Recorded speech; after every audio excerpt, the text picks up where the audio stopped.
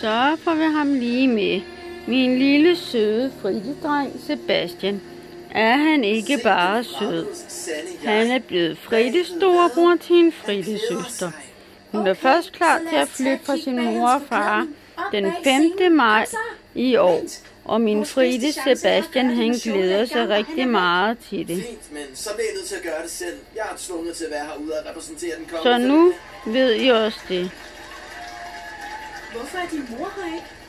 Selv når der er fred i Sintopia, må der være nogen til at holde øje med paladset.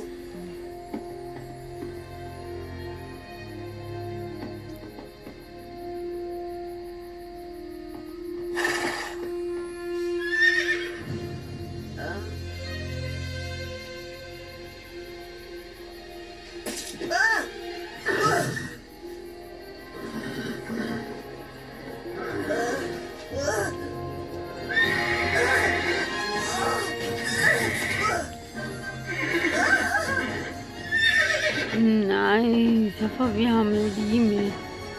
Min lille søde Fritte Det dreng. mest legendariske show i hele verden, og alligevel kan de tre stadig ikke få øjnene fra dig. Sikke en fornøjelse at have alle jer alfer samlet her i fællesskab. Sammen vil vi dele denne oplevelse i Slaraffenland. Med denne ærehøne Bertius vil det være mig en fornøjelse at byde jer alle velkommen. Og jeg håber, at vi... Øh? Åh? oh, det bliver svært at få af. Jeg er ikke færdig endnu. Åh, Oh, jeg er færdig. Velkommen alle sammen til Slaraffenland. Denne særlige aften vil byde på ordentligt særlige oplevelser.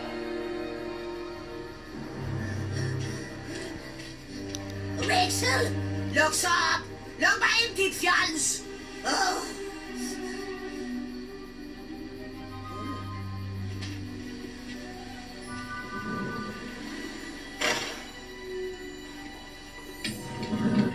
Ikke så langt igen. Det er okay. Du er der næsten. Ah, lad være med at kigge ned, så skal det nok gå. Oh, oh, oh, oh.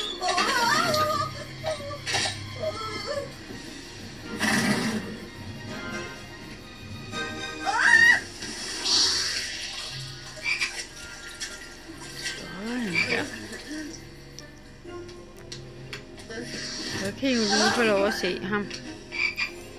Min lille søde Fritte dreng Sebastian.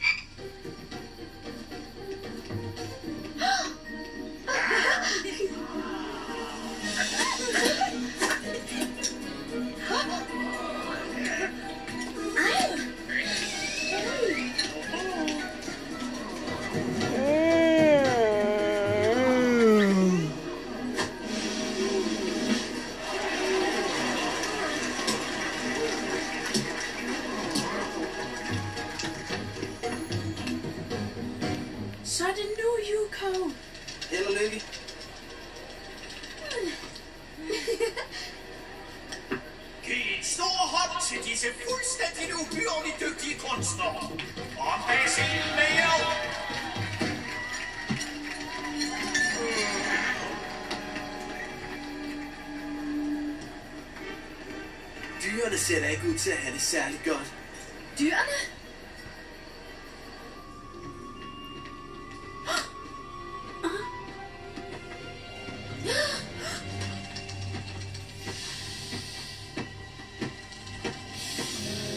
Klappe små tanter. Jeg er færdig med det her sted. Gargona.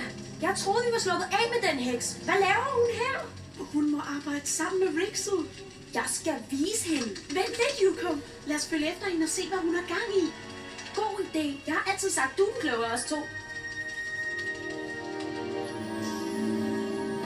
Og nu, I troede, I har set klubske skabninger. I troede, I har set kæmpe væsener. I troede, I har set frygtindgydende udyr. Men alt det, I har set, blegner i lyset af gurka.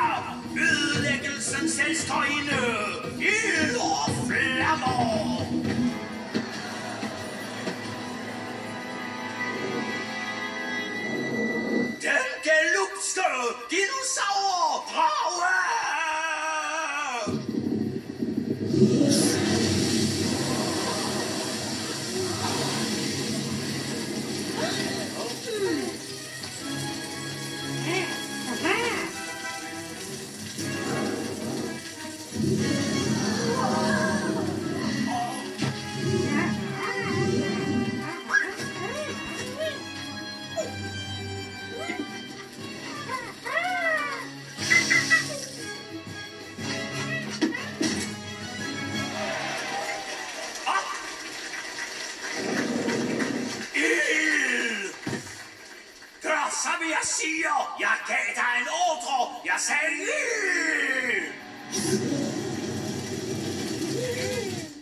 Rixel hypnotiserer sine dyr. Optræder hun uden at have lyst til det? Stakkels dinosaurdrage.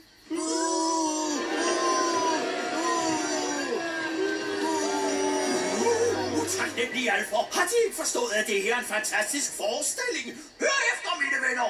Måske er det på tide med en kort lille pause. Og bag scenen med dig.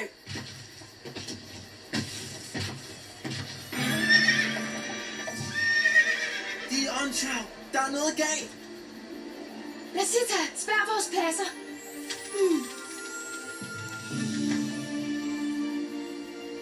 Oh, det er præcis det samme net, som Gargona plejede at bruge. Hvor er hun, Anchao? Er alting okay, prins Mo? I to bad om at komme på en mission, så nu har jeg en mission til jer. Yes!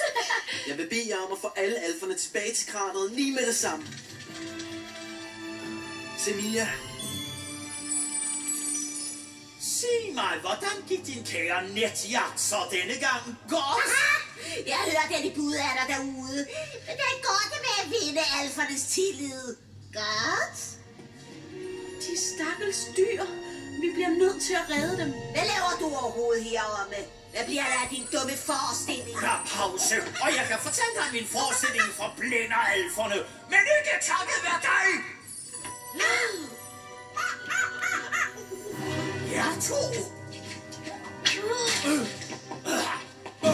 Snæne alfer.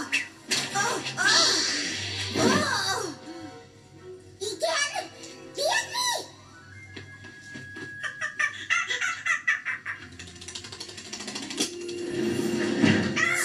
Så fri! Nå, så du kan ikke lide at være spadet inden, var Rixel? Huh? Nu ved du, hvordan det føles.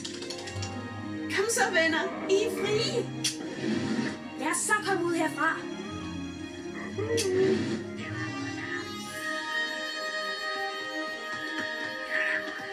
Wow, bare rolig. Vi vil jer ikke noget ondt. Jeg tror, de vil mig noget ondt. du har sluppet dem fri, men det ville have været en god idé at have en plan for, hvad der nu skal ske. Vi må ikke lade dem løbe væk. Rixel fanger dem bare igen.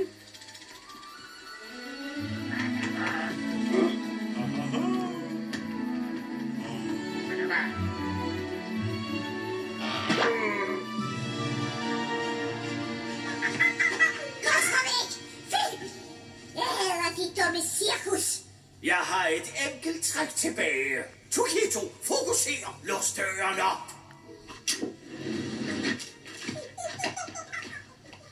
Kan du få dem til at følge efter dig tilbage til paladset?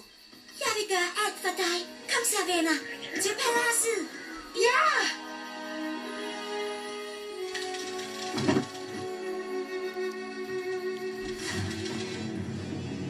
Hans åndssvage, ynkelige dyreforestilling kunne ikke andet end at.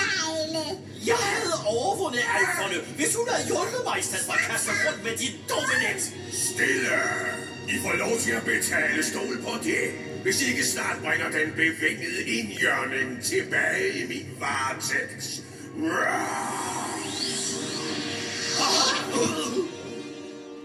Vi skulle have lyttet til jer tre fra starten af. Vi skulle aldrig have stolet på Rixel. Det hele er min skyld. Jeg burde have forudset faren. Jeg elsker bare cirkusforestillinger. Jeg var især vild med den store, knodsede skabning. Og han er vild med dig. Men takket være jer tre, ved vi nu, at vi ikke kan stole på Rixel. Og vi ved, at vi må gøre noget.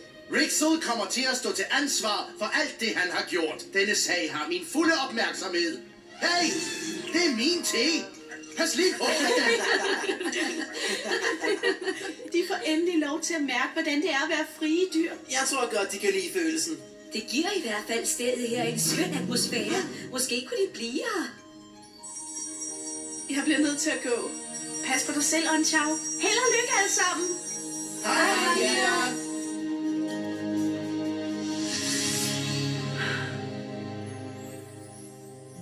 Kom nu, lidt mere. Kom nu, hjælp mig lige.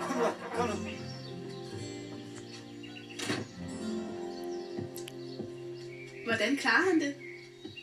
Kom så. Hvis nu han fik moren til at gå derind, så ville de andre følge efter. Ja. Hey! Bravo!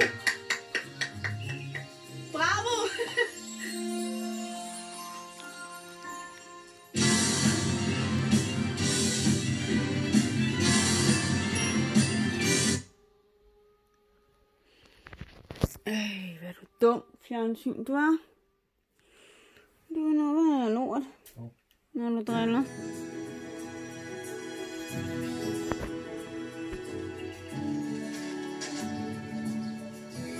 Sagde jeg det ikke? Landets bedste æbler lige her i min egen baghave. Sluttede din baghave ikke ved det hegn, vi gik forbi? Hvad er et hegn overhovedet? Åh, oh, se en gang. Forestil dig en tærte, jeg kan lave med sådan et æble. Bedste for Renzo?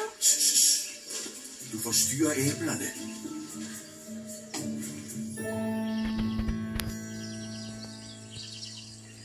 Nej. Nej, her. Så vidt jeg husker, er Dawn Sniksnak ikke en del af din jobbeskrivelse. Ja, det er en smule bedre. Jeg holder øje. Hest. Jeg skulle aldrig have købt den. Lad ham ikke slippe væk igen. Hvorfor er god hjem så svært at finde?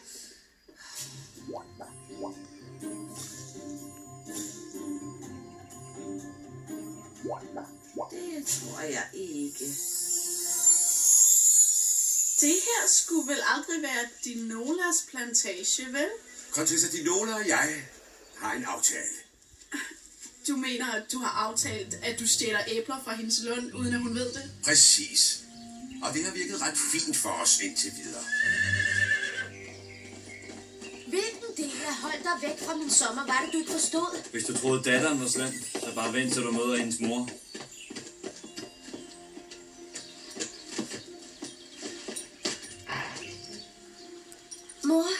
det er Mia, hende jeg fortalte dig om. Åh, har du fortalt om mig? Jeg er så rørt. I bør være klar over, at politiet er på vej herhen. Der er nok et ubehageligt navn for denne form for tyveri. Stort æbletyveri. Ja, hvad end det hedder. Vi bliver sigtet for det. Men du plukker aldrig de her æbler. Hvad er der over rådner de bare? Hvad jeg gør med mine afgrøder er min sag. Ikke en sag for en. Dig. Jeg troede, jeg havde udtrykt mig klart. Hvad har du gang i? Jeg redder de her æbler fra en lang, sørgelig, meningsløs død. Jeg giver deres små liv mening. Vil jeg ende deres liv med ære i min berømte æbletærte. Som du og din bedårende, agtige datter Velkommen til at dele med os som en kompensation for dit tab. Hvad siger du til det, Contessa?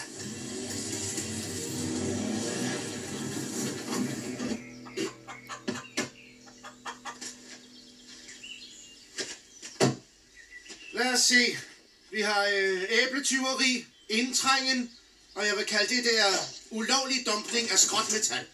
Jeg er bange for, I tre skal komme med mig. Mange tak, betjent. Før de her folk væk, tak. Ja, fru. Jeg her selvfølgelig for at tjene. Var det sarkasme? Jeg er ikke sikker.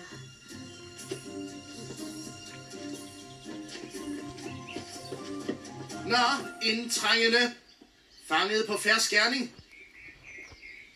Hvad skal der ske? Hvor lang tid kommer det til at tage? Renzo, jeg skal være tilbage på jobbet om en time.